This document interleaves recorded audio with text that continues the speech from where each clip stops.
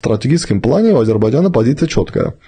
Э, была война 2020 года, Азербайджан эту войну выиграл, и Армения должен подписать мирный договор, то есть юридически обязывающий договор, а не только заявление 10 ноября 2020 года. Армения должна подписать юридически обязывающий документ, то есть договор, который должен быть ратифицирован, там Конституционный суд, парламент и так далее и тому подобное, который должен фиксировать победу Азербайджана. А что значит победу Азербайджана по логике Баку?